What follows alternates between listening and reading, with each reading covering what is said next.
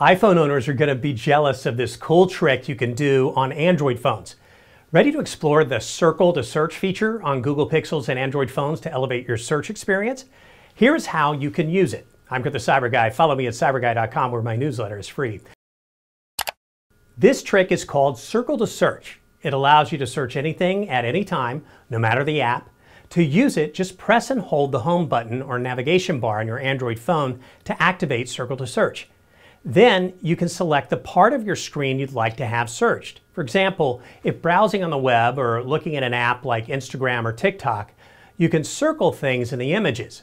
Google will then recognize that object with its new AI upgrades and tell you all about what you circled. This also works with text, articles, images, you name it, and can circle, outline, or scribble over anything you want to search, and Circle to Search will recognize it and search it for you. You can even add your own line of text, like a question, for instance, to add with whatever you've highlighted in order to narrow down your search further. It's all powered by AI. More crazy cool tricks like this at cyberguy.com, where you can get my newsletter for free by clicking the little red button.